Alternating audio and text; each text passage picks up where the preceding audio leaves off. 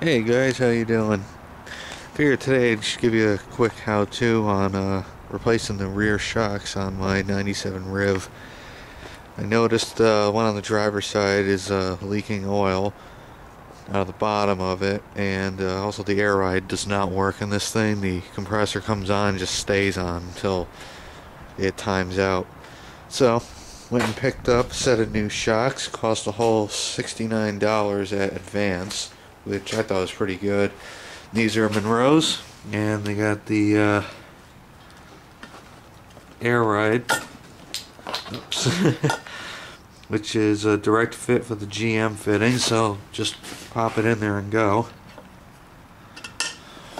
Uh, not bad, 69 bucks for a pair of these things, and come with hardware. Each one comes with two washers and a nut. So, get this thing lifted up and then start pulling the old ones out.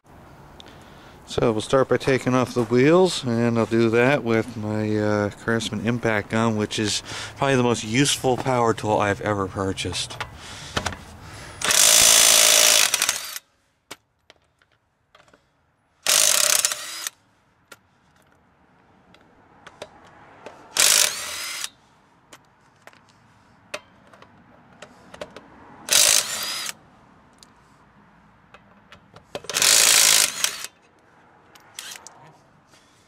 Simple enough. So here we are under the car now with the wheel off. And as you can see, this thing is leaking quite a bit. And it's also pretty rusty, so let's get started removing it. First thing you going to do is pull the airline off, which just undo this clip here and pull straight off. Because when you start unbolting the top, this is probably going to want to twist, and you don't want to damage that airline.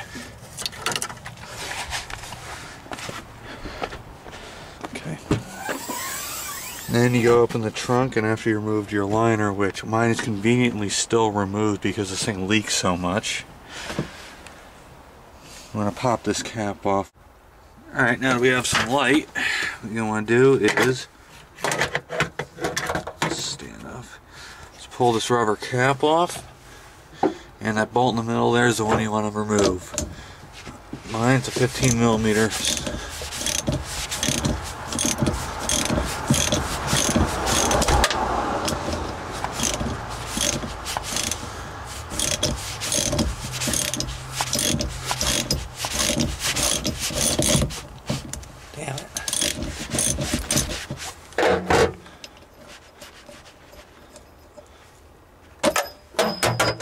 go.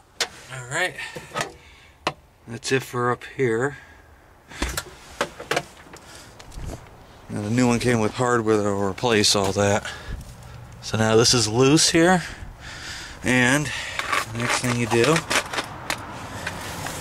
is take out these two bolts down here on the bottom of the control arm. Those are 10 millimeter. All right,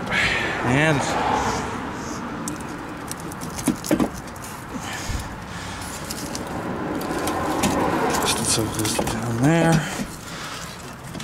And get it out of there. It pulls out, that's it. Gone.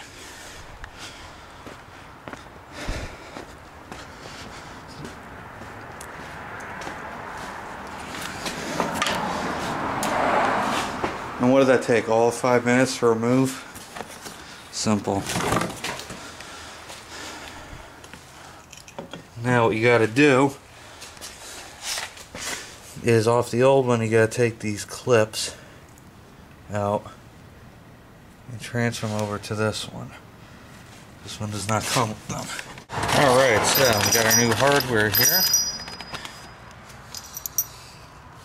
We take this one, the flatter of the two washers, that slides right on top like that.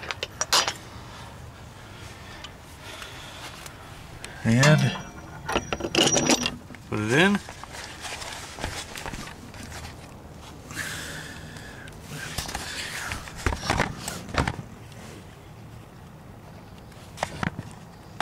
And we just pull this down.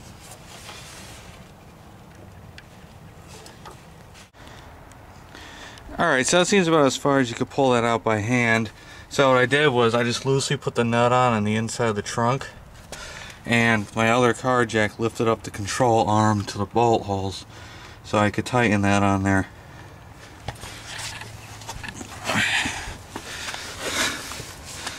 And of course, it is really starting to rain now. Alright, so now you got the bolts uh, lined up and threaded. You gotta torque them down. The lower control arm bolts are 18 foot-pounds.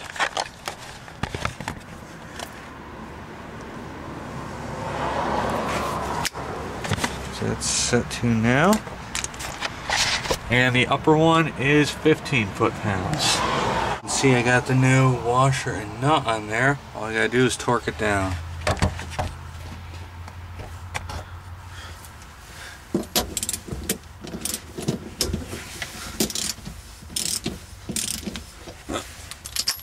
Make sure it's set.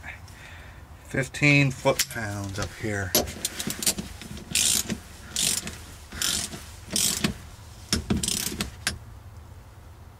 It.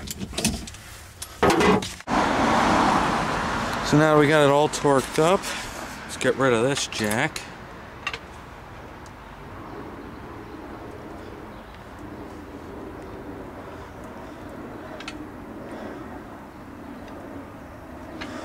Okay.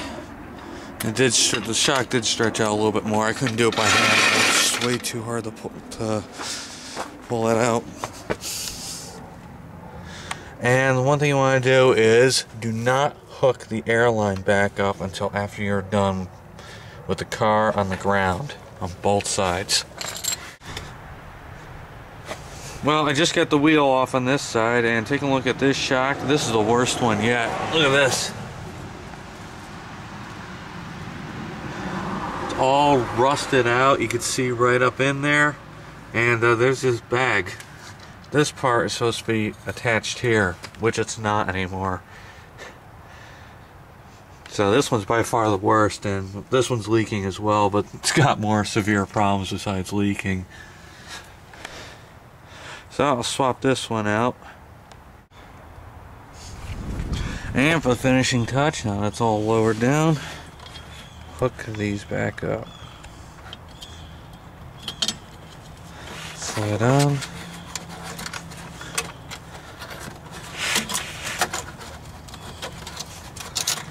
And the ring retaining clip.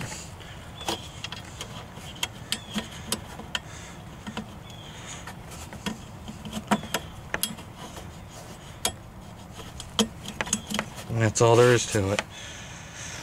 You have for both sides and take it for a ride and see how it feels. That's it. All in all the whole job took under an hour to do for both sides not too bad. Beats paying a shop to do it.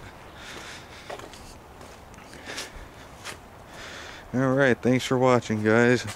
I'll see you later.